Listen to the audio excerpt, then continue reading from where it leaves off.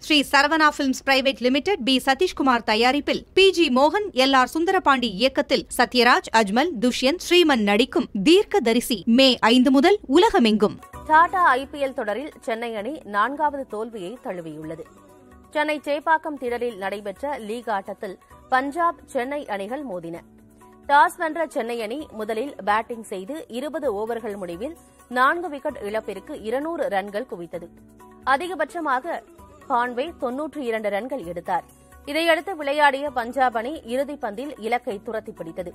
பஞ்சாப் அணியின் வெற்றியில் ரப்சிம்ரன் Singh Liam Livingstone ஆகியோர் முக்கிய பங்கு வகித்தனர். மும்பை வான்கடை மைதானத்தில் நடைபெற்ற ஆயிரமாவது ஐபிஎல் போட்டியில் மும்பை ராஜஸ்தான் அணிகள் மோதின.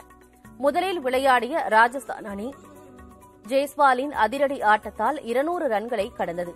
இருபது ஓவர்களில் ராஜஸ்தான் ஏழு விக்கெட் இழப்பிற்கு இருநூற்று பனிரண்டு ரன்கள் குவித்தது.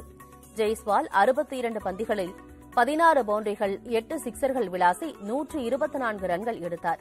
கடினமான இலக்கை துரத்திய மும்பை அணியில் Cameron Green Suryakumar Yadav Tim David ஆகியோர் சிறப்பாக ஆடினர்.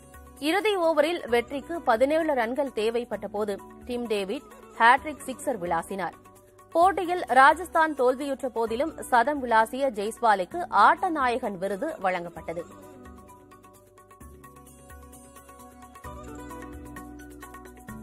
Sri Saravana films private limited P Sathishkumar தயாரிப்பில் பி ஜி மோகன் எல் ஆர் சுந்தரபாண்டி இயக்கத்தில் சத்யராஜ் அஜ்மல் துஷ்யந்த் ஸ்ரீமன் நடிக்கும் தீர்க்க தரிசி மே ஐந்து முதல் உலகமெங்கும்.